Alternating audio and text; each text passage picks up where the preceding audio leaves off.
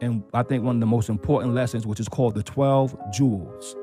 And those are knowledge, wisdom, understanding, freedom, justice, equality, food, clothing, shelter, love, peace, and happiness. So a man must first get knowledge, wisdom, understanding. Once you got that, then you can go for your freedom.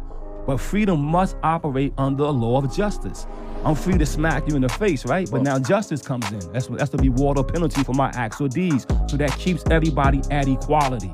Because what? All men are created equal until you do something to break that equilibrium.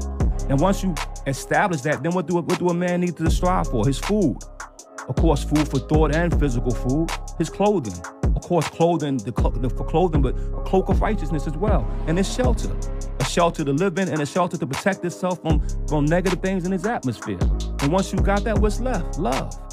But what's love without peace? And what's love and peace without happiness? And happiness is total, complete satisfaction with yourself.